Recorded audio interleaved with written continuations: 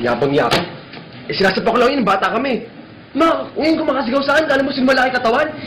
Alam mo, talagang pagagalitan ka nun. Manager siya eh. Boss mo pa rin siya. Ma, pero magkibigan kami.